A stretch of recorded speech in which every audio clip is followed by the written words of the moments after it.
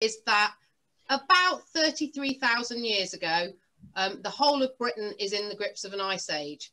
Um, it starts off in Scotland and moves further south. By about 23,000 years ago, um, this ice is at its maximum extent. At that point, it's not gone all over the whole country.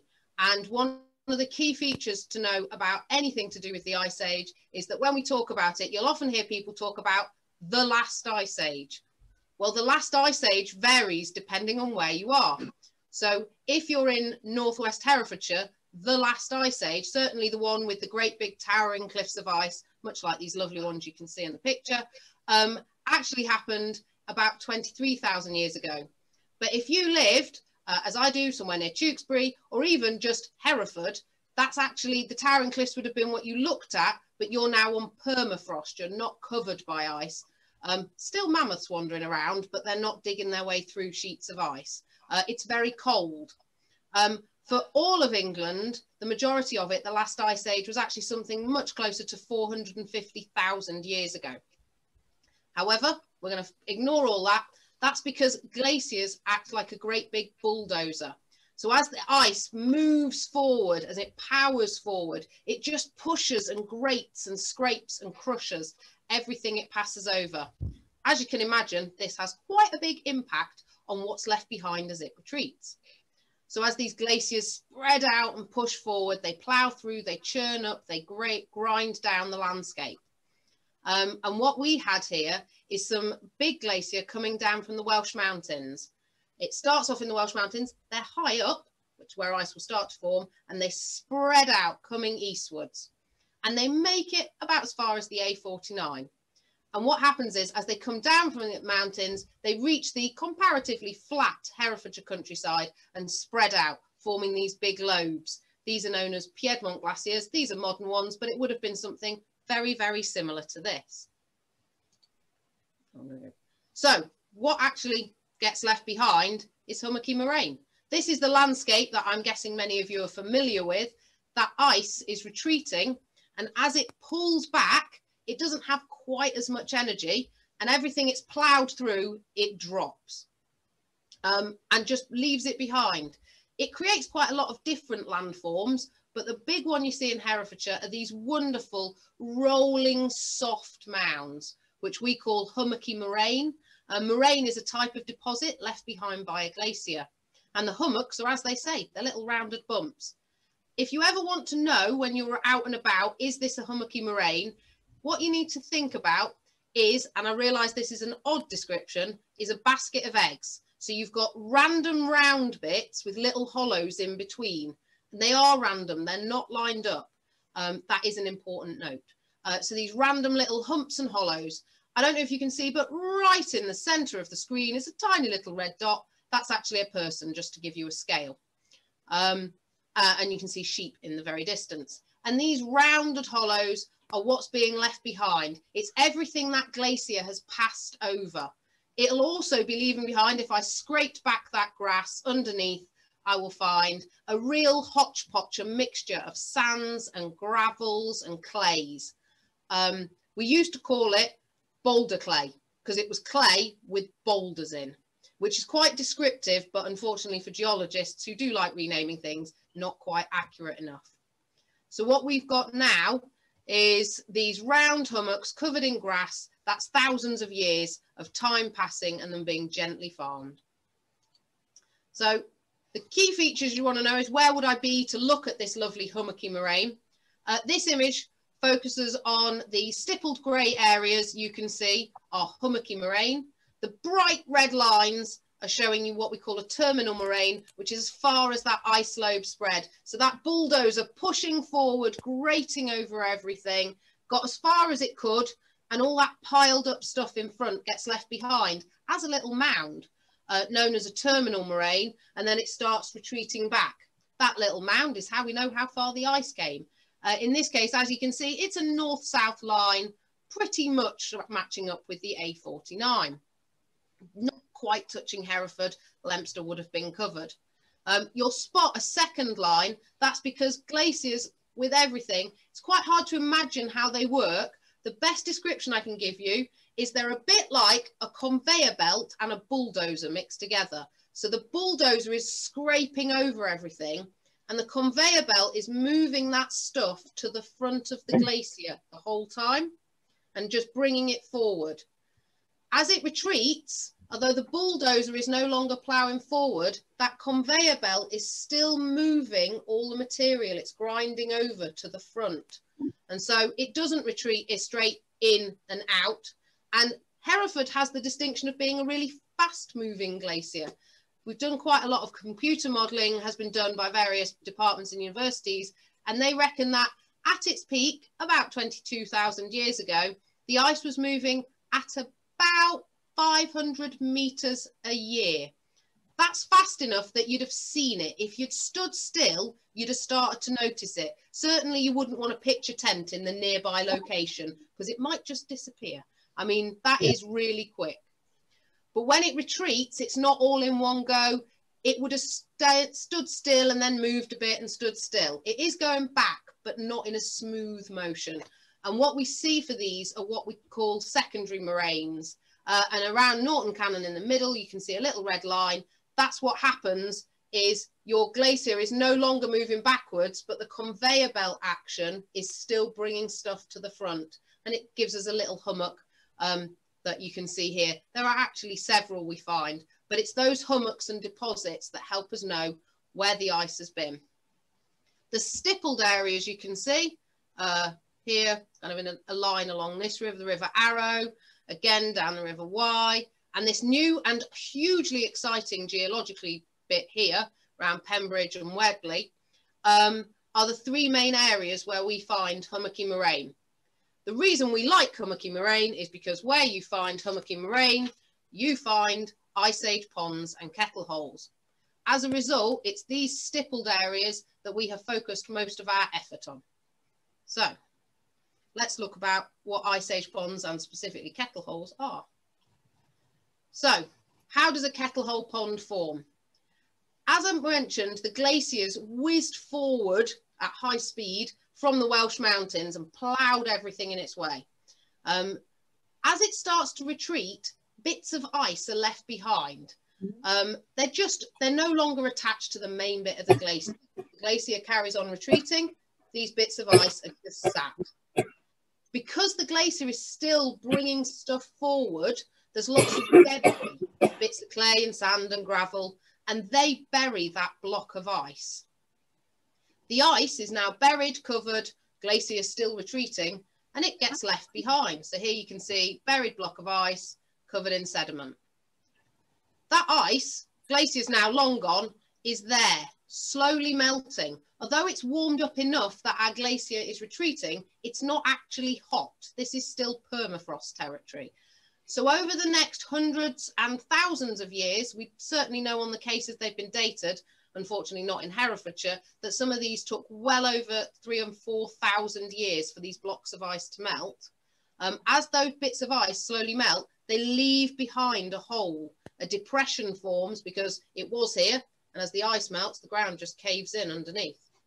And it's those depressions we get. The mounds are the bits left on the side, and the depressions are ponds. They form slowly over time, and where we get ponds, we tend to get a buildup of um, organic matter, and this sometimes, not always, but quite often forms peat. And uh, peat is really exciting. So what do these actually look like today? Well, if you were in places like Iceland, you get a fresh kettle hole, if you like. They're not exactly uh, like this in Herefordshire, but they do vary in size. We've got a, a lovely person here uh, for scale. This is a small kettle hole. That's a little block of ice that's been buried. Um, because this is Iceland, it's worth noting it's a lot warmer than it was in Herefordshire, so the ice melts quickly. Um, and it's black, which also speeds up the ice melt. That's why you've got these very bare ground. It looks a bit volcanic, but you do get a nice impression of your mixed boulders and sediments. What we get in Herefordshire are these much more rounded hummocks and then these hollows in the middle. Across Herefordshire, quite a lot of them are surrounded by trees. You get a nice little copse of trees and a little hollow. That'll probably be a kettle hole. Um, these Ice Age ponds are the ones we're really excited about. because that shallow, which has taken probably several thousand years to slowly form, has then been around for, as Dave said, anywhere up to 18,000 years. So those natural ponds have been somewhere things can live for a really long time in our landscape. I just to, as Dave said, possibly provide a little bit more accuracy. I don't want you to think that these are the only types of ice age ponds there are, or indeed the only ones we're interested in. We do have some others in Herefordshire, not just one type, we have three. So we get this one. Oh, I've gone two slides in a go. Um, we get this our picture. This is the Sturts Nature Reserve. I don't know if you're familiar with it. What you wouldn't say is it's hummocky. It's in fact incredibly flat. That's because this is a glacial lake bed. You would have had that great big glacier and then in front of it, a big flat body of water. And then as that glacier um, is feeding ice in, you get icebergs. It's the kind of classic image of Northwest Canada area where you've got an iceberg floating. Only this lake isn't very deep and those icebergs would get grounded on the bottom because it's a lake and it's got a glacier feeding in, lots of sediment buries the bottom of that iceberg. And over time, the, both the glacier melts and warms up and the ice will melt. Water surrounding it would have been a lot warmer than the ground in permafrost, so the icebergs melt quickly. What this gives you, although I promise this picture is deliberately not showing it you, is all of this foreground here, which doesn't look at all like a pond, is a pond. It's just a very shallow pond that's only around for a short period of time, three or four months in the wettest period. So although hummocks and kettle holes are what we talk about a lot, there are other types of ice age ponds that are equally exciting, although slightly different. We also get a, a better example of that. You get lots of ice age ponds together, which is one of the reasons they're so exciting ecologically, because an isolated pond can be a bit lonely for various creatures. But if you've got an area with lots of potential ponds, that's much better. So this picture in front of you, you can see this particular field here. Um, this is near Letton again, it's not very far from the Sturts. And you can see this field with all these humps and hollows. When you're on the ground, it looks as flat as the previous picture but a little bit of water comes up and you can suddenly start to really spot these shallow depressions, um, creating lots of ponds. This is taken at a time of flood, obviously, but in winter they come up as well, just naturally. So uh, I'm sure there'll be lots of questions about Ice Age ponds later, but hopefully Dave will help explain why they are so exciting. So over to you, Dave. Okay, thanks, Beth.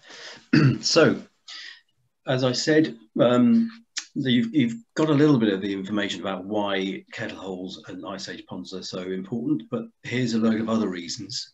one of the first one, which I've mentioned before, is that they represent an ecological and geological ecosystem which has survived that long for up to 20 up to 20,000 years for 18 to be more accurate. Um, so that provides that in itself um, the stability that that that um, habitat is provided is, is important in itself. Um, I sometimes think of them as, as a bit like ancient woodlands in that those are stable habitats where certain number of species are able to have survived for many, many millennia. Um, so their distrib the, the, distribution is very restricted um, and they're only found in very few parts of the country. And one important uh, thing to note is that um, in the rest of lowland Britain, um, only 2% of ponds are of natural origin. But when you come to the northwest of Herefordshire, that figure goes up to about 25%. So the mere fact that we've got so many of these natural ponds is an important feature in itself. Um, what we're finding and what has been suspected for many years, and with, the surveys that we're doing now is is bearing this out is that they have rich species assemblage assemblages which um, which include quite a lot of, of uh, rare and protected species. Um, as we've seen already, the the, um, the density of the ponds and the number of ponds that you get very close together is, is another important uh, feature because that uh, provides um, a much more resilient um, sort of habitat and, and uh, series of habitats for all sorts of different species, particularly the the, uh, the amphibians like great crested newts, which rely on having several ponds of at different stages, some of which can uh, produce young, some of which don't, and they they they, they can. Um, if, if there are if the habitat's wrong, if there's fish in some ponds, then um, obviously the, the the the great crested newt can't survive because the fish tend to eat all the eggs. But in in ponds which dry out on a regular basis, fish populations don't tend to build up. So they provide, they're the ones that are really good to provide breeding habitats for great crested newts and the like. Um, the other thing that's important is that um, ice age ponds are, are endangered um, because they're getting fewer and fewer, and particularly in the, the second half of, of the 20th century. So many have been filled in and lost. And we'll, we'll talk a little bit about more about that later. So this is a, another typical ice age pond, probably a kettle hole, up probably near the near the Pembridge area, isolated. There's no stream going into it, no stream going out of it, out of it, and it's in that hummocky moraine um, landscape that Beth pointed out. This is um, an example from the Herefordshire Wildlife Trust uh, Reserve at, at the Sturts, um, uh, Sturts East um, and there are one or two really nice examples of, of ice age ponds and, and, kettle holes that were formed, as Beth was, was uh, talking about, in the, the bottom of, a, of an ice age lake. So it's very flat. And there are many, many of these ice age ponds scattered around. This is a, a, a pond um, that we've been doing quite a lot of work on, and Will Watson, the project ecologist, is particularly keen on it um, the lawn pool at Moccas Park, which is on the edge of the, the Wye Valley. Um, and this is a particularly good example of, uh, uh, of an ice age pond, not a kettle hole, but this one was formed in underneath a glacier when, when uh, water was moving at, at great pressure and, and, speed and scoured out these areas. Um, so they, they were formed at, at roughly the same time, but they're in a slightly different way but because of their longevity, they're still very important and have a wonderful array of species. One of which is this. Um, this isn't actually, I, well, being pointed at, one, one of our colleagues is very keen on this. This isn't a medicinal leech. This is a uh, closely related um, species called um, uh, Hirudo uh, verbana rather than medicinalis but very similar. And they live in a very similar habitats. The medicinal leech is incredibly rare, and Moccas Park or the Lawn Pool was the only place in Herefordshire where it's been recorded in the last 20 or 30 years. And Will Watson found that a number of years ago. In the same pond, uh, this is a, a, very rare water beetle, Graphoderus cinereus, that Will has found. Uh, again, that's only been found I think I'm right in saying, in, in the lawn pool at Moccas. Oh. Just very close to um, the lawn pool, just down the road, this, this is um, Agabus undulatus, and this was found actually it, during the surveys of last year. It hadn't been found, this is new to Herefordshire, this one, and the, the ecologists got very excited about this. The nearest population of this one occurs on the other side of Cambridge. So it's, um, it's a long way away, very isolated again, there are there are ice age ponds in Cambridgeshire, um, but this is this is the only example of um, of this species in in Hereford, Herefordshire, and it's it's an indicative of the fact that these these ice age ponds are, are really quite special in terms of the species they support. This is an interesting beast. If I only saw this um, this slide in the last couple of weeks. And um, Giles King Salter, who's one of the, the project ecologists, has been founding, finding it in, in great numbers. In, um, in again, they found it at, um, at very close to to the um, to Moccas Park. Helophorus strigifrons, and um, it's the grooved water scavenger beetle. Um, it doesn't normally look as shiny and smart as this. Uh, as this, um, Giles spent a long time very carefully cleaning it, and they're, they're characteristic in that they usually go around caked in mud. Um, though uh, not a very glamorous beast until it's cleaned up like this. Um, and but nevertheless an important part of the, of the pond ecosystem. That's about, that's about four millimeters long, that one. You'll all be familiar with the great crested newt.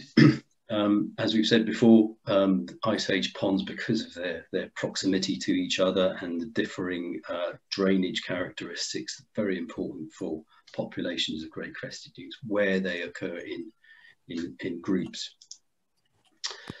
Another species uh, um, plant this time, which is characteristic and seems to be restricted to these ice age ponds, this is tubular water dropwort. and this is um, seems to only be found in, in these natural ponds of ice age origin in, in Hereford, Herefordshire.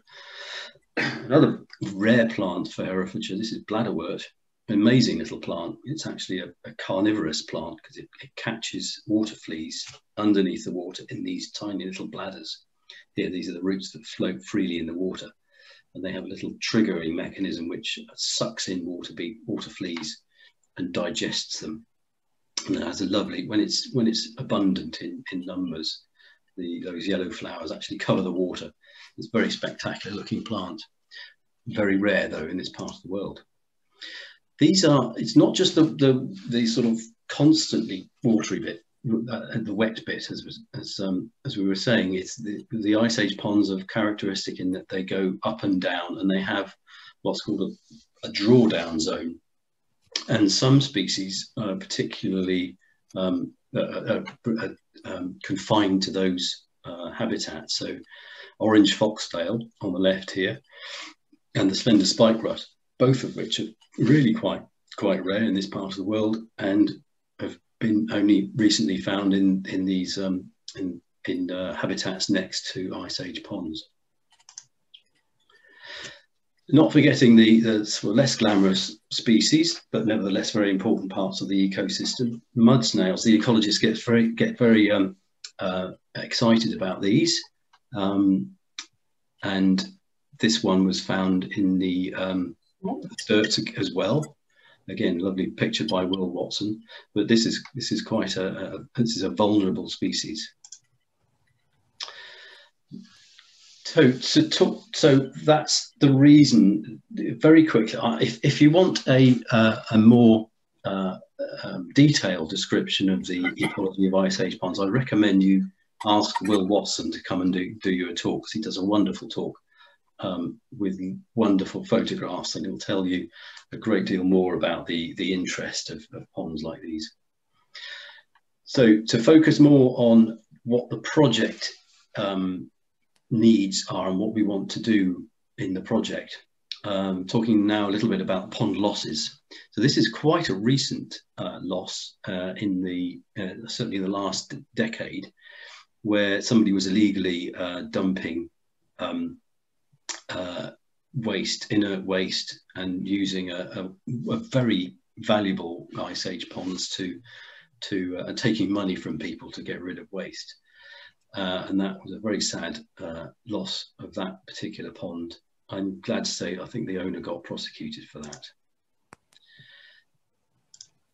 These two pictures are taken at the same place. The one on the left was is I think an RAF picture during the uh, the 40s and it shows this field here which is exactly the same as this field here can you see my my cursor outlining here so that's what the pond looked like in the 40s and 50s probably unimproved grassland with a with a mosaic of, of ponds this is what the, the field looks like today it's been um, it's been ploughed all the depressions have been filled in and it's a very uh, no doubt very productive uh, wheat field or cereal field.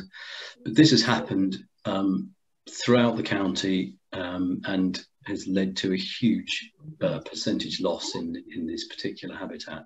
Mm. So the project and the reason Beth and I are, are working hard to, to uh, do this, um, both last year in, the, in de the development stage, we were actually preparing the ground, if you like, in a relatively short period of time to carry out um, the work that we're doing now. But a lot of the work has overlapped for instance, um, we recruited um, and trained up to, uh, around about 56 volunteers. So we had 56 volunteers coming to four training courses. Um, and Beth and uh, Will and Giles talk, told them how to, to carry out surveys. Beth will be talking about a bit more about that later on.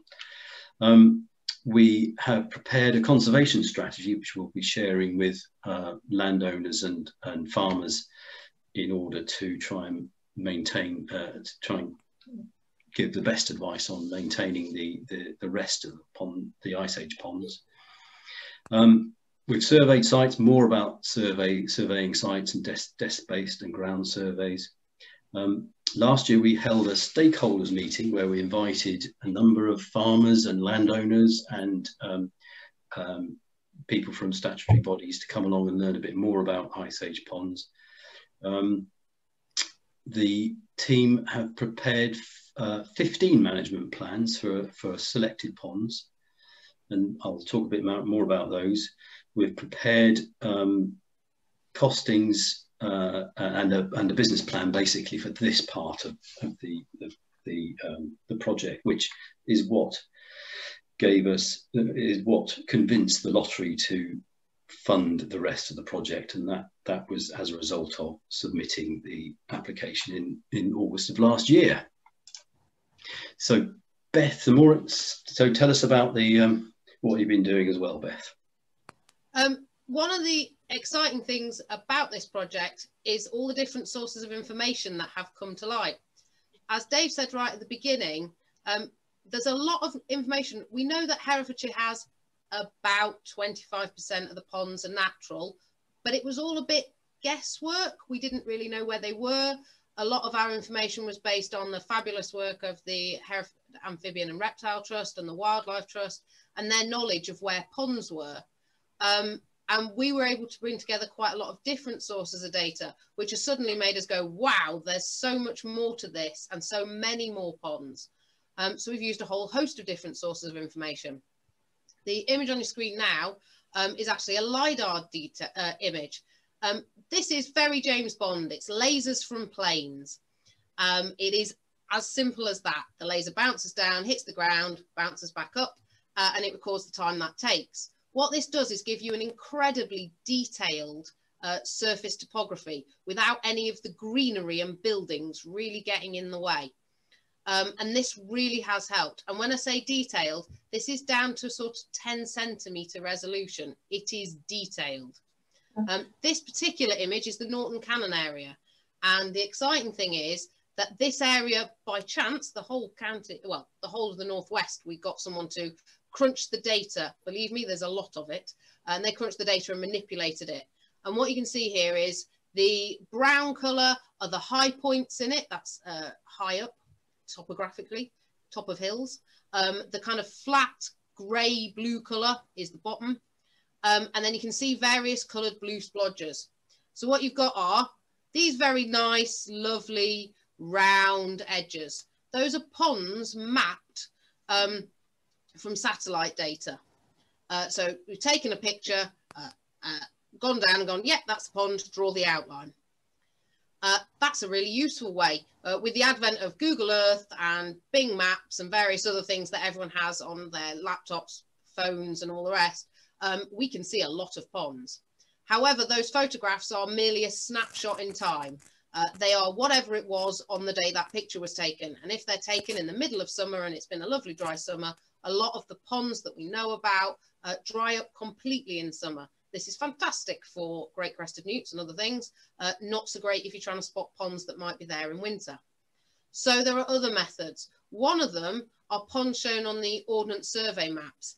Now they aren't based on just one lot of data. They're based on lots of visits uh, over long periods of times. They use aerial photos. They still don't get all the ponds, but they tend to show up more. And these are what we call these mid-blue splodges. So you can see now that this one appears in one lot, these appear here, but aren't on the Ordnance Survey. And then the final way we found them is by having our wonderful volunteers, as Dave said, I think we trained 55, 56, and they literally phoned us up. They emailed me. They said, I know these ponds, are they on your list? They look about right. Um, and they find ponds that haven't been picked up before. Uh, so these nice round blue dots are actually ones that uh, volunteers did on one of the training days Dave mentioned. Um, and they don't show up on anyone else's maps. And yet you get there and they're definite ponds and they're there all the time, but they're not very deep. The vegetation isn't wildly different in terms of from a distance, it's not immediately apparent, um, and they just haven't been picked up.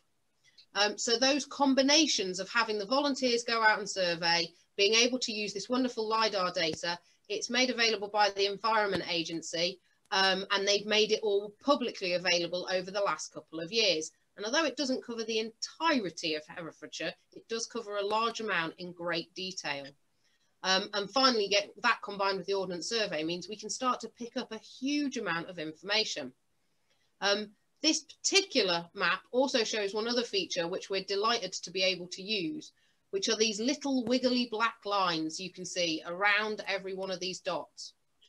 Um, when we think of lakes, and if you think back to being taught about ponds and in fact rivers, we have what we call the catchment area. So all the rain that falls down, hits the ground in that area will run downhill. Water is most of the time pretty lazy and only goes downhill. And that's the catchment for any individual pond. Um, when we talk about these, it's really hard to get an idea of what a catchment is. And you think in terms of big river valleys. But these ponds, even when they're quite large, tend to have catchments that are maybe only sort of, you know, 10 meters around the outside. We're not talking huge distances. And what's more, a lot of ponds often appear all in one field or two fields. And each one of those can have its own discrete little catchment. So what you do very close to these ponds can have a massive impact.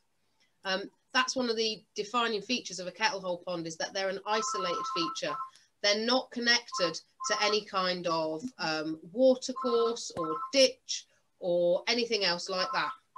Um, so what you've got is them coming through uh, and uh, they don't link up. So the way, way the rain falls in um, means that that's where all the waters come from. We do get some that have an aquifer fed, um, so they've got water bubbling up. Dave mentioned one earlier.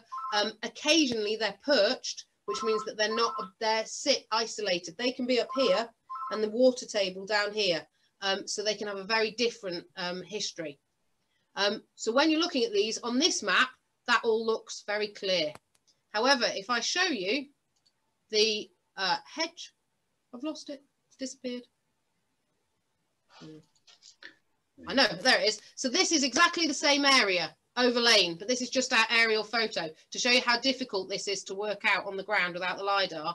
We have got pond here, pond here, pond here. And that patch of four blue dots are all inside that very rectangular, not rectangular, trapezoid field here. Um, each one of those had a catchment area. There's actually an empty catchment where there's a kettle hole but no pond. It never seems to have formed a pond. Um, and when you're on the ground, this picture doesn't show up just how subtle those uh, topographic changes are, but we're talking maybe as much as three feet between the top of the catchment and the bottom in the field, that is a tiny amount and it's really subtle, especially once you've got a bit of long grass um, to get in the way. And this project's been really exciting because a lot of projects, the geologists work away and look at their things and the ecologists look at all the amphibians, reptiles and water beetles and get very excited. And it's not often that we get to work together so that I can suddenly start saying, hang on a minute, there's a thing just over the hill, or, oh, that's why this is special and this would be special too. So the bringing together of all those different sources of data is very interesting. Uh, and it's pretty much unique to this project. Um, Dave mentioned the pond surveys. We had some fantastic volunteers last year uh, who came out and surveyed. So what we did was we wanted people, so we got a lot of ecologists and a lot of geologists, and we wanted to bring those skills together, uh, help people learn something about uh, the other side if they haven't done it before. And so we said to them, we took them to a site. This particular example you can see in front of you is the lawn pool at Moccas, but we went to lots of different ones. Um, and we showed them what the different maps would tell them. And when we got on the ground, we started to record what we could see. Um, they were fantastic because they came out in all sorts of weather. Um, you can see from this picture, those are a lot of people looking really, really wet. It rained solidly for three hours. We were soaked um, and they were still smiling. Uh, the sun came out, which really makes it really made a mockery of how wet we were. Um, we equally had fantastic volunteers who on several days last year came out and surveyed in 30 degree plus heat. Um, it's really hot surveying in 30 degrees, it turns out. Luckily, not a lot of um, high, lot of movement required. So what we do is we turn up, we look at the maps, we look at the historic maps, because if a map is, a pond is marked in the first edition, it's probably uh, at least 100, 150 years old, which is a good start. We look at these idea with the LIDAR maps, the map you can see in the middle, you can see an awful lot of orange contours. Um, if you're familiar with uh, normal Ordnance Survey maps, that may make it look like you've got to climb up a mountain at the side of this pool. You haven't, it's actually very flat. Um, it's just that those are 10 centimetre contours, which really allows us to look all the way around the outside of that pond and spot whether there's any water coming in? Is there a drain? Is there a ditch? Is it linked to a man-made feature? Quite often on the ground, these are very hard to spot, but the LiDAR picks up the subtleties brilliantly. Um, we might look at the aerial photos They're also really useful, especially in kind of when you're on the ground working out what's where and what's around you and getting an idea of what is within that particular pond's catchment.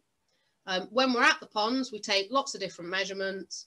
Um, so our wonderful volunteers, uh, they used to take an auger out um, to see what they can see under the ground. Are we finding peat? Uh, that's the thing that I get really excited about because where we find peat, we stand the best chance of finding mammoths, none so far, but we keep looking. Um, you might hear it mentioned, you see a lot of mammoths in our publicity and it all looks like we're just kind of pitching in on some kind of possible, but it is possible. Uh, up in Shropshire and Condover, they found within the centre of a kettle hole the remains of four, maybe five uh, mammoth skeletons. So I live in hope. We could find a mammoth. Um, we might not find a mammoth, but we will find lots of other exciting things. When we auger down, um, and we trained everyone to use an auger, to dig down, and to learn to identify what you're looking for. Peat's really exciting because it contains um, unrotted organic matter. And that means we can possibly pick up dates so we can know how long the pond has been a pond or at least is having material gather in. And if we get layers, as you can see in this image, um, you might be able to pick up changes in habitat. So what pollen has blown in from the surrounding areas. Are we finding pollen associated with cold periods, warm periods? Um, you will actually pick up if you've had big burning events. You can uh, start picking up when agriculture first kicks in in the more recent times. Pollen is a fantastic way for us to find out what has happened for, because these ponds are incredibly old, 10, 12,000 years. So you're really picking up about our history. Um, so where we find peat is very exciting. Um, you can see Will with glasses on his head there looking very closely at almost certainly a water beetle. Um, they don't have a nice life. When Will finds them, he pickles them and identifies them. It's very important work, but I always feel really sorry for them. Um, uh, you see at the bottom, we've got some fantastic volunteers. Uh, these are people learning how to do chemical testing. We test for phosphates, we test for electrical conductivity. Um, we're looking to see what the pH is. Um, this isn't just about finding out whether the water is clean and pure. One of the things is that although you might have a field or a small farm, which could have 20 ponds in, um, because each one of these is its own little discrete basin and isn't attached, they often tend to have their own water characteristics because of what's happened and what is coming into them. And this is quite a good way of working out whether they're linked or not, because it is quite difficult to work out what's going on underground. Um, and because uh, we like to see what's actually in the pond, although our volunteers don't tend to get in the water, Will never skimps on a chance to leap in in his waders um, uh, and have a look. We record what you can see in terms of what kind of aquatic vegetation can you see? Is it emergent? Is it submerged? Um, we help people learn to look at diversity. Um, I would say that as a geologist, and I'm really not very good at the ecological side, um, that's why we are lucky to have Will and Giles, um, we get people to look for diversity. This isn't about being able to identify any individual species, just saying it's got lots of different species. I don't need to know what A, B and C are, I just need to know whether there's 10 types of things or 50. Um, and in these ponds, I know uh, one of the ones we recorded, recorded over 80 different species, which is a fantastic result. And it was a pond that we hadn't visited till this project came along. Um, so what we do is we give people a wonderful survey form. Uh, if any of my volunteers are in, we've asked everyone what they thought of the form and there has been some feedback and they don't look like this anymore. We've moved pictures around and rejigged it to make it more user friendly. As Dave said, we were able to do a development phase. And one of the things there was we developed a form just for us because there aren't forms for recording ice age ponds. And we needed that mix of biodiversity and geodiversity. So we created our own form, but it was a development stage. We were learning, we listened to what people said because they were using them. Uh, and we've changed it about a bit since. Um, we gave them a big handbook. We went out, we did a training day in a village hall uh, we're now doing it online. Um, and then we went out into the field and everyone got a chance to practice all these different bits of technology, having a go with an auger, learning and in an ability to question people and say, how do I know it's a this or what is that? So that people can get a feel for what we've done out there uh, and really practice it before we send them loose into the wilds of Herefordshire, finding fantastic ponds for us. Um, here's some of our volunteers using an auger. Um, it's hard work is what I would say. A lot of fun, very exciting. We found peat and I got really excited. I dragged people back to see the peat. Um, as you can imagine, when you've got a five page form and we've got 55 volunteers recording, we've got a lot of data. We actually managed to survey 55 sites in great detail. Um, volunteers tend to work together in teams, uh, which is why there's slightly fewer sites than there are people. Um, but the amount of detail was phenomenal we were able to talk about what we'd seen, um, what kind of percentage of cover was there, was it covered in trees, was it covered in aquatic vegetation, huge amounts of data, an enormous spreadsheet, um, which helps us then go back and as Dave said, we produce some detailed management plans. We start to be able to say which sites have got either need work doing to them or in an area that would really benefit from having work done to them. Because if there's lots of really good ponds around it, doing that pond would help really increase um, and this data over what is a tiny proportion of the number of sites available to us has really helped with that. Um, now, as everyone will be aware, because we're doing this virtually, uh, this year has not gone according to plan. Uh, we would have intended in March to be going out, training our old volunteers again, getting all sorts of new volunteers out and doing more of these detailed surveys. Instead, we all stayed at home. But I knew that there was a way that people could carry on because I met lots of our volunteers. They were dead keen and they love maps. And I'm a fan of maps. And someone we've been working with said, Have you looked at the first edition maps? They've got a lot of ponds on them. And I thought, Oh, that's a good point. Uh, as Dave showed you that 1940s uh, uh, aerial photo compared with now, you can see that a lot of ponds have been lost. So I put a little call out to all the volunteers and said, anyone love maps? I've got a job you can do from home and five of them with endless bags of patience sat and looked at them. They went through the first edition Ordnance Survey maps and pinpointed every pond they could see within the project area with a little dot and a grid reference. And they gave me all those grid references, hours and hours of work. Um, what that made me think was, well, if I know that they were there in 1880s, and we know it's not flawless. We know that there'll be ponds that were missed off that definitely existed. And we know that there's ponds that were on there that maybe were in the wrong place. We can't prove that they were absolutely right, but it's the best we've got. Um, we were able to get an idea of how many ponds were around in the 1880s. It depends exactly where you were in Herefordshire as to which year they were done. And that identified about 1,300 ponds. Bearing in mind, we'd so far only identified about 60. Um, this was a little bit of work to do. Uh, as we're all aware, we're still not going out, we're still not surveying in the way we would have liked to. So we said, well, okay, now that we know that there's potentially ponds that were there 150 years ago, is there a way we can find out how accurate that is? And are those ponds still there? So we got our volunteers and we gave them a new uh, pond survey form. So this is our area of interest. I don't know if you can see the red grid squares. Each one of those squares is actually based on the Ordnance Survey grid squares. We haven't done anything fancy. And I would send a volunteer them. They're five kilometres by five kilometres. And I'd send them the map. I send them a modern map and a first edition map. And I would say, off you go. If you can find a public right of way, be it a road you can walk beside and gaze over the hedge, a public footpath, a bridle way, open access land, anytime you can see a dot, go and have a look and fill in a really simple questionnaire. Um, on this map, I'm hoping that the symbols are different enough. I do realise that we print these out to be map sized, so when you see them in person, but you've got red diamonds. Those are ponds that we know exist because the Ordnance Survey have mapped them. I admit data's not perfect, but it's pretty good. And then you get these stars down here, uh, here. Um, oh, uh, I've leapt. I don't know how I leapt so far back. So where you get these little black stars, those are stars that we know existed on the first edition Ordnance Survey map. You also get symbols which are black stars with red diamonds on top. Those are ones that we think are still there. So what we said to all our volunteers was, and quite a lot more volunteers have come forward, if you're twiddling your thumbs, I've still got a few spaces that need doing.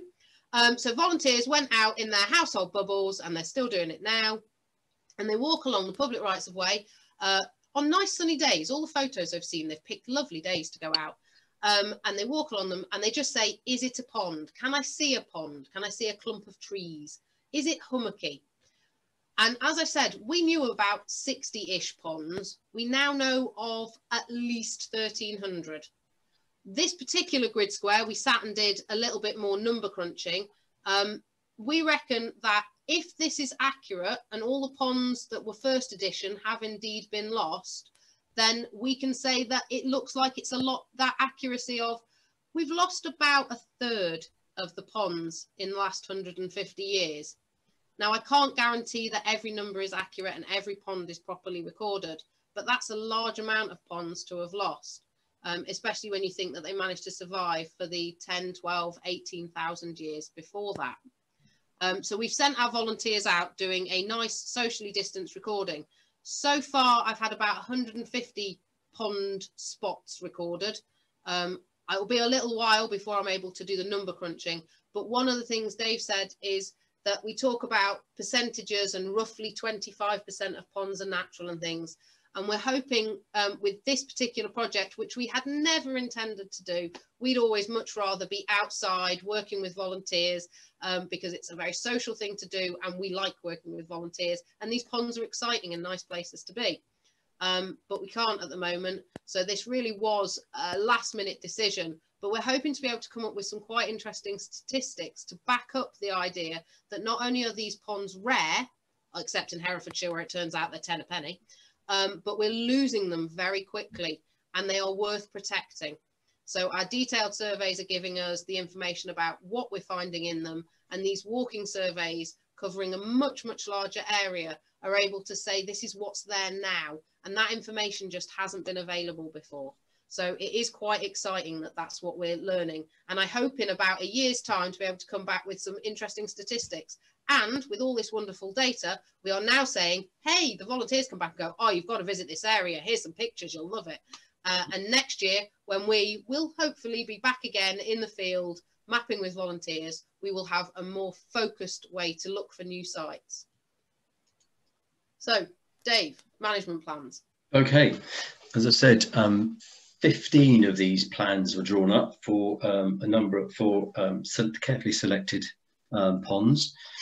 This one, that's what the front cover looks like. It, the sort of information that was gathered, this is a typical species list, uh, and that is quite an impressive species list from um, the lawn pool at Moccas Park. Again, see there's one, two, three, four, five quite rare species and 32 in total and that was just the water beetles. So there's a lot of information gathered uh, about each one. And each one has a, um, a, map drawn. This is the, the actual management recommendations. So it's talking about which trees to uh, repollard and which trees to, to fell. Um, and the aim being essentially to open up these ponds which have been largely neglected. We'll see some photos of this one later on. Um, this is the very same. This is um, this is Blakemere uh, Mere Pool, um, and this is a section of that previous one. Let me go back. Um, this is this bit here, called the Horse Pond. Um, and it looks like that now because we've um, coppiced uh, a lot of the trees around it. So now that the light can get to it, you can actually see very clearly the the sort of um, um, uh, um, the, the, the, material that's that's in the moraine of underneath the glaciers. So there's a, a variety of um, of sizes and shapes of these of these boulders in a in a clay matrix, sand, a clay and sandy matrix. So that's a um, that's a result of um, essentially doing this, doing the survey, writing up the management plan, talking to the landowners, getting them to agree that um, uh, agree the, the management, explaining to them why we want to do this. Um, and these particular people at, um, at Blakemere are wonderful, very, very careful custodians of their land. Um, and we're very happy to, to uh, realise that what we're actually doing is acting like, like beavers in, in keeping these ponds open that have actually, because of the lack of grazers and, and management, have, have gradually closed over and a, lot of uh, a lot of the wildlife value of the, the aquatic habitat has, was beginning to disappear. These are some of the, the very old pollards. They're not hugely old because they're very quick growing. These are crack willows, and the, they because they were hadn't been pollarded for for some years, they were beginning to to fall apart. Now we we are employing a very um, a very knowledgeable and careful contractor, and where he saw evidence that there might might be um, uh, bat habitat. He's left the limbs on, so one or two of them have got quite large uh, limbs still left on. That's probably because there was a, um, a, a nice sort of fissure in it to, that may, may provide a, a roosting site for a bat. And this is another pond where we've done some work on this. It's the southern side of it, um, coppicing a lot of um, crack willow and this is sort of halfway through the operation because a lot of these large pollarded um, crack willows were pollarded by the end of this project, by the end of this, this particular contract. So, um, sorry, that one wasn't supposed to be there. Another thing we're doing in, um, in the project is to recreate some former kettle holes which have actually been filled in this is an example, not in, don't think this one's in Herefordshire. I think this, this one is probably in, in, um, in Norfolk. Um, and but we're doing a very similar thing in that we're, we're going to be carefully excavating what we think is an old kettle hole to to deepen to deepen it to provide um, two new ponds and we're going to hopefully be doing be doing this on the Sturts. A very important apart from the fun things of seeing um, habitats being managed and, and opened out. A hugely important part of the project is telling people about this, this about ice age ponds. That's the, one of the biggest parts, uh, uh, um, uh, one of the most important parts of this project. Um, so a number of uh, uh, ways of telling people. So one of them is the um, the self-guided trails. Um, which will be available through leaflets and the app, which you'll see later. Um, the geocache will actually, I've actually got somebody interested in helping to set out a geocache trail, which if you're, if you're, um, if you've never heard of them before, basically people are keen to, to follow trails with their, with their, with their, um, uh, with their GPS machine and then find um, carefully placed caches and then when they basically get to them and they find some information and then report that. It's, it's a strange hobby, but some people like doing it. Um, we're going to be producing some new interpretation boards at sites where the public have access to these. It's unfortunately very limited, uh, limited number of sites. Um, so most of them will be on Herefordshire Wildlife Trust reserves, but if we can find um, a private landowner that's willing to have an interpretation board close by telling people about their ice age pond, then we'd be very happy to hear from them. Um, we are, we've produced a, pond management leaflet. Um, there's a lot of, if you go to the, the Trust website, there's quite a lot of information up there already. Um, we'll be producing a, an Ice Age pond booklet, which uh, tells the story of Ice Age ponds and uh, uses a few examples to, to tell people about more detail about the, uh, the, the, wildlife and geology of Ice Age ponds. Um, we've done a few community events and activities, but um, in the development stage, but we'd like to do a few more um, when um, the time is right, and we're very keen to, to do that, and looking forward to doing that next spring and summer, hopefully. And at the end of the, the project, we'll be holding a conference, um, probably at uh, Worcester Universities, to share a lot of the information and the knowledge that we've gained over the over the period education is the a crucial part of it as well. I think um, we've got a, one of the logos that's on the beginning of this slide is uh, for, for the um, Kingspan Trust, uh, Kingspan Community Trust, um, and they have provided um, a serious amount of money to enable our um, engagement team or the education team to go to schools in the area to uh, to teach kids about the importance of ice age ponds in their area and generally about wildlife. Uh, and that's always a very rewarding experience. Some of you may have already been to the exhibition in Hereford Museum. Um, Beth and I spent uh, an interesting day bringing that mammoth um, in the back of a Luton to up into the, the museum and erecting it there. Um, there's an awful, there's a lot of information on on with one one section of the um, the Ice Age exhibition in Hereford Hereford Museum is devoted to Ice Age ponds, and there's lots of related information, uh, such as the um, this um, ice this um, hand axe, which was actually found in near Kington, probably very close to one of our Ice Age pond sites, and an awful lot of information there as well. And we're also having family uh, education activities, and they've been, been, very successful so far. So groups of up to five, I think, families of up to five going along, and um, and having a, an ice age pond experience for, for a few hours. this is the app, and this is this is where we are at the moment with it. Uh, this is actually on my phone. It's very much in trial at the moment. Um, we're still developing the uh, landscape tour and the, the two different trails. So there's there's a, a landscape tour, a landscape tour which we you can do by car or by bike, and there are two trails: one at the Sturts Nature Reserve and one at Birch's Farm near uh, near Kington, um, where you can follow.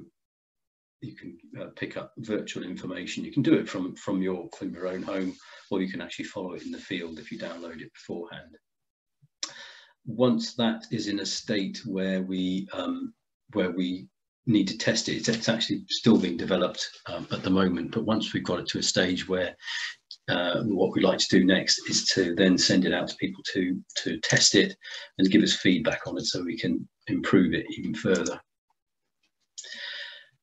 Management guidance for landowners is, is a crucial part of this because a lot of these ponds are on privately owned land. Um, they're on intensive farmland sometimes. Um, our experience so far is a lot of landowners are very, very keen to to know and understand about the, the importance of the ponds, and are very keen to to um, um, and willing to to help to to preserve them. So one of the things we'll be doing in the next month or so, Beth, I, and the um, the team will be doing a, a seminar aimed at the land advisors, people from Natural England and from the local authority that go out and talk to landowners and farmers about the various grants and um, things that are available to, to, help landowners manage their land. What we're trying to do is raise their awareness of the importance of these of these ice age ponds and why they're so special and what one can do to ensure that they that they continue to be valuable habitats. The this, this is quite a long document as it stands, but we're going to do a summary of that so that landowner advisors can, can take them out to, to landowners. Another thing we've been doing, again, raising awareness, we were filmed at um, Croft Castle um, doing a doing a survey. That's Will in, in his element there, paddling around in in um, in a pond, um, and Giles in the bottom left hand corner. So we were all uh, we all said about um, about a minute or so's worth of uh, summarised information about the pond, the, the, the, project, and it went out at lunchtime and tea time, uh, which hopefully quite a few people saw. We've also had an article in the Guardian, which came out um, three or four weeks ago online and in the in the Saturday paper. Um, I'm hoping we've got a copy of that or a link to that on the website, which you can go and read. Quite an interesting article. So this was at, at um, Moccas Park, um, um, and the the journalist came and, and, talked to Ian there, who's who's um, talking about the geology there, and Will um, was talking about the ecology, and I was talking about the importance of the of general conservation generally. So what do we need to do next? Um, well, Beth talked a little more about um, the, the surveys, the walking surveys that she, she's initiated. So we'll be doing a lot more of those. We'll be carry out, carrying out more detailed surveys like the ones we carried out last year with a target of, of 60. Um, so that's again taking out the, the um, hopefully with volunteers, taking out those survey forms, filling them in, creating lots of data. Um, this data will be used to, to inform the conservation of these ponds in the future. Pond management, the, the, the um, we've started this already, but the management plans that were put together last year, we've begun to carry out the management recommendations on, on the 15 ponds that have been targeted. We've got quite a few volunteers already, but we'd love to to to uh, recruit more and train more volunteers to be to be pond champions. Now, if you know anybody, if anybody would like to um, to contact us about being a pond champion, what we want them to do with various roles, we could have, say, a, a, a landowner that has ponds on their land and is quite knowledgeable knowledgeable about about ice age ponds and would in the future like to be a point of contact for people to um, to to be shown ice age ponds or to talk to somebody who manages an ice age pond. So that's one kind of role. Um, and there are other obviously lots of other roles. People uh, people who live in parishes that know of particular ponds that would be interested perhaps in in helping to continue to survey ponds in their local area or even uh, get trained up to lead a, a, work party to, to continue management, management of the pond into the future. So it's part of our the legacy of trying to um, get people to, to retain an interest in looking after these ponds. We will be this year writing five more detailed management plans, which can be um, carried out through various means into the future. So we're hoping that we'll, we will be able to um, encourage new landowners and new ponds to manage their pond, ponds in accordance with these management plans that we're writing. The analysis of the data, which Beth has alluded to earlier on, um, there's a lot of it and it's got probably some very useful information once it's put together analysed and summarised, there we're hoping that we can actually put out some some um, very interesting information about that. Um, and part of what I've been talking about is is the the um, improved protection that hopefully will come about by we're talking to the landowner advisors. They are going to um, um, trans transfer their our information, their information and knowledge to landowners who look after these ponds. That's one sort of protection.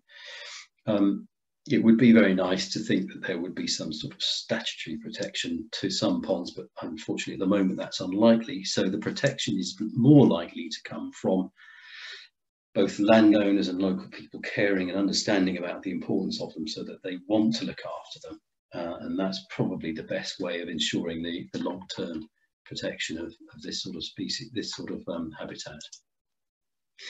Just a quick one to show you some of the team, uh, hard working behind the scenes, some people. Um, this is uh, Richard King from, he's the chairman of, of Hampshire Amphibian and Reptile Team. That's Giles there who works with Will.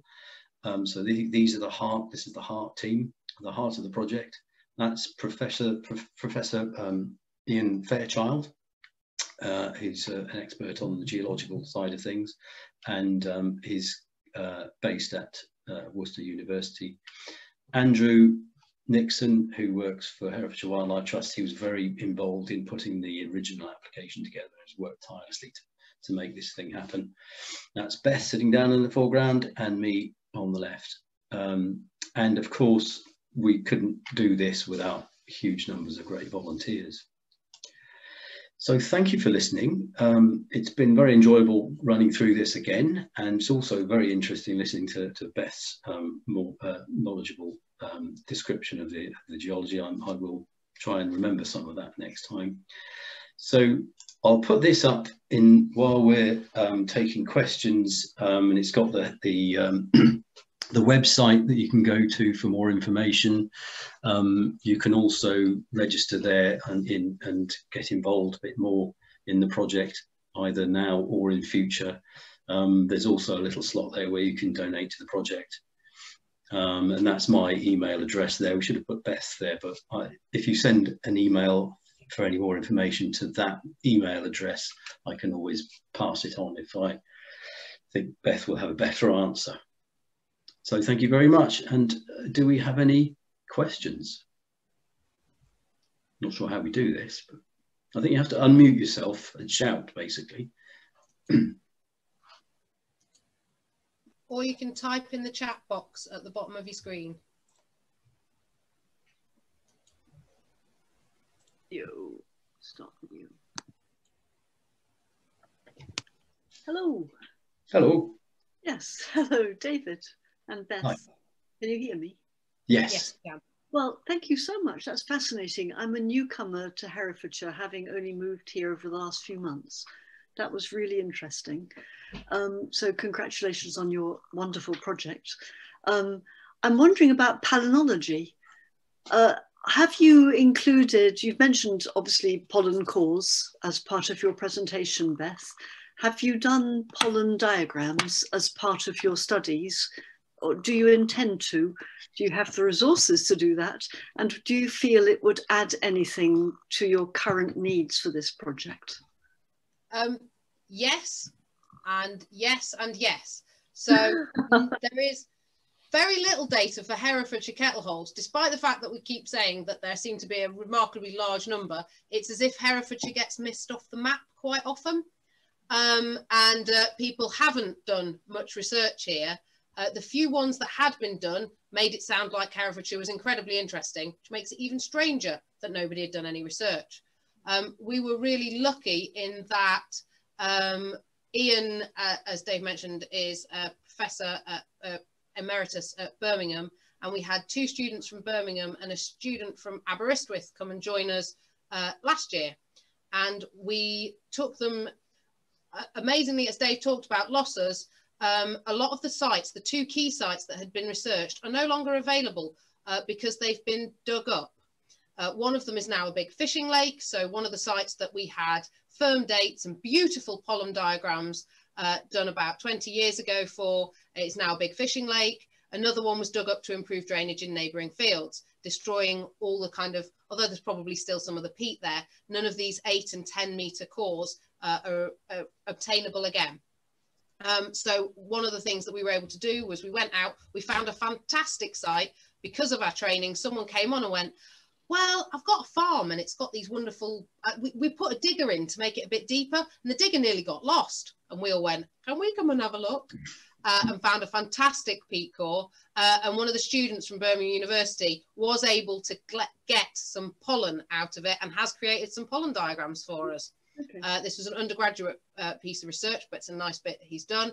Um, we did try and find uh, peat on several other sites, despite the fact the geological maps map it as being in loads of ponds. We actually really struggled to find peat in uh, enough quality and quantity uh, on sites where we've got permission from landowners, um, certainly within the de development phase.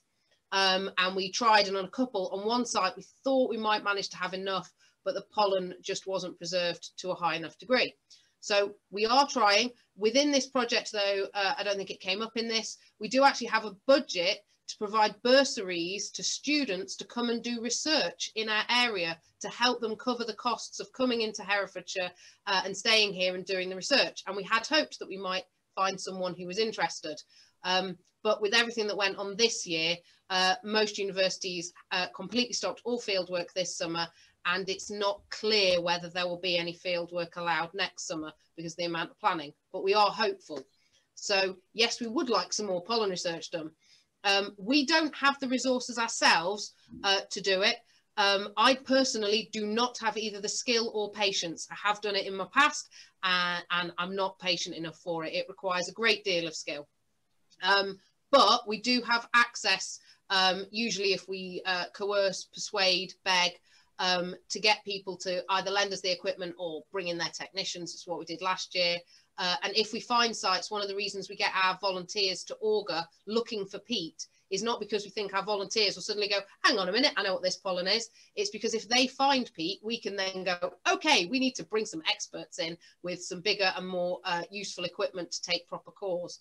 Um, we are hopeful that we will keep finding sites which have peat in or one or two and that people will be able to do more research on them. So yes, and if you happen to be really keen on palynology, then uh, send me your email address and I will be sending you stuff because while we won't be doing it, as I say, uh, it's a, a, a, fantastic skill, but requires huge amounts of patience. And we are hopeful um, that we'll be able to get something next year. Um, but at the moment, not so much. So yes, we have done some. Uh, yes, it would be useful. And yes, we want to do some more. I hope that answers your question. Yes, thank you. That's very interesting and very comprehensive. and, um, I mean, certainly it's generally archaeological, I gather. Uh, you know, um, archaeology is the main interest for palynology is in my limited experience as an amateur. Um, but I just, I was just interested in whether or not it could be part of your story. Oh yes, it, it, in ours we they were using it. We we did have some budget for radiocarbon dating, but unfortunately weren't able to get samples to do it because um, obviously they have to be collected in a certain way and be in a certain state. Um, but yeah, we can use it to recreate the climatic history of certainly the last 11 or 12,000 years. Yeah. Um, there is some argument as to how accurate it was, but um, that's to do with the way pollen grains spread over a large area rather than the process of collecting them themselves. We never know. I might put my hand up sometime to give it a try. Brilliant. Drop me a line. I'm always keen to have people who like looking at pollen You've got your name now. Got, got your name now, Rosie. Thank you.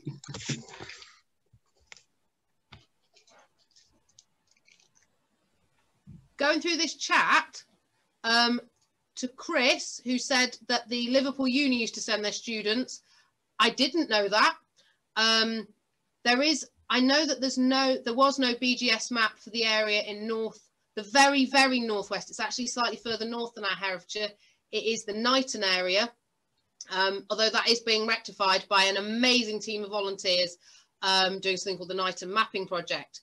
Um, however, now that I know a load of students have been out, I feel I might get, get in touch with one of the people I know at Liverpool Uni and say, any chance of looking at those undergraduates? So thank you for mentioning that. Um, I, I, honestly, I didn't know they sent them. I can see why Herefordshire's a lovely place to do mapping. Um, well, yes, I, I, th I think actually um, they, they, it was actually around Kington as well and, and apparently there were quite a lot. It was a you know the second, third year dissertation that they were do, doing. Uh, and um, the man, the man was the, the the the chap in charge was Jeff somebody. I can't remember the other this other name at the moment. It's the kind of thing you can usually find out. Um, but yes, if anyone's interested, uh, the Teme Valley Geological Society are doing something called the Knighton Mapping Project. It is a work of art, and I really hope that uh, it's worth following. They are fantastic patients going out and mapping it. It's hard to believe in this day and age that part of our country has never been geologically mapped. We did all the first maps, William Smith and his work, and since then we just missed a bit that covers the very northern part of Herefordshire and the very southern part of Shropshire. It is criminal, but they are producing fantastic work and hand painting their maps, which is, I can't describe it, beautiful.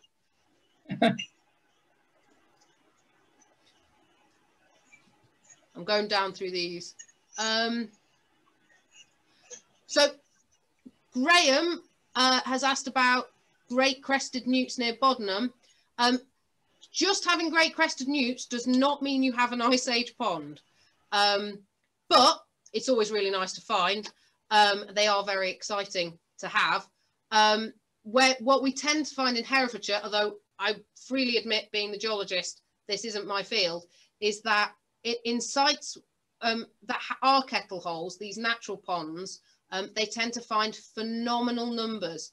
I know because we were having a conversation with the ecologist this morning, they were saying on one of them, they found 282 uh, great crested newts within one pond. Um, so these numbers are phenomenal. And although there are lots of places where you find them, uh, it's a good indicator of a really high uh, value pond. Um, it doesn't mean that exclusively ice age ponds are where you find them. Uh, Bodenham, I would say, is right on the edge um, and might be slightly too far over to have an ice age pond. But if you do want to get in touch and give me a grid reference, I do tend to check these things because I'm always keen to find new ponds we can come and visit.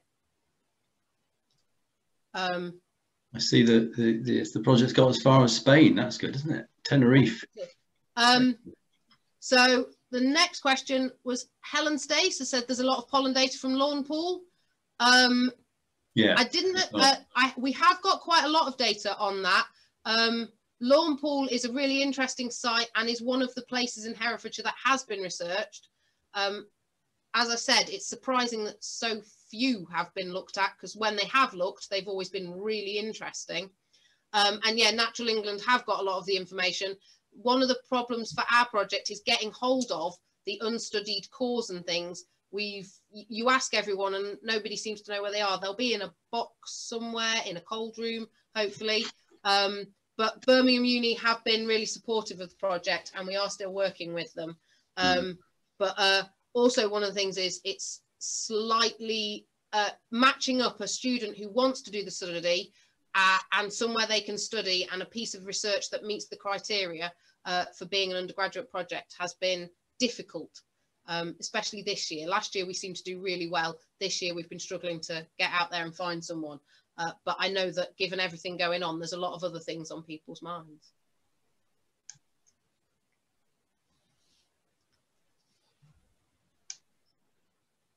You're, uh, from Viv and Ant talking about uh, lived in for 20 years, garden full of crested newts. Fantastic. That's a lovely thing to find. Um, I, I, mentioned that there were three types of ice age ponds and Dave was talking about these ones within a glacier. They form a fantastic ring all the way around the hillside, around Moccas and Bredwardine and all the way along that valley and uh, Blakemere, uh, right the way round. Uh, and all of them are mapped as containing peat and uh, several of us, I think there was about 12 of us, went out with an awful lot of kit to call this peat, could find none of it. Uh, I'm determined this time that we will get out and find it uh, and maybe find that mammoth that I hold out all my hope for. Does anyone else have any questions?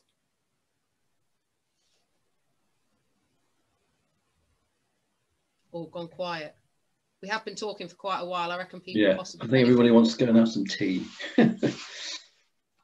should we? Should we call it a day then? Thank you everyone for for coming and listening to the talk. And uh, as I say, go to please do go to the website um, and do get in touch if you want to um, either for more information or or want to get involved with the project. Was that another chat? That. All right. Okay. Right. I think Francis has the um, Frances has the button to switch us all off. So um, I shall hand over to her. Oh, I think we've got I think we've got one more question from Anne.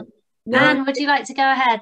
It's not a question. It's just a big thank you from um, us at the Hereford uh, City Branch of the Wildlife Trust. Just to say, it's been brilliant and wonderful talk, and um, uh, I missed the first one, and I'm so glad that I was able to catch up with this one. And um, glad, Francis, that you're recording it so we can send it out, or hopefully, and other people can um, enjoy it as well. Thank you. It was great.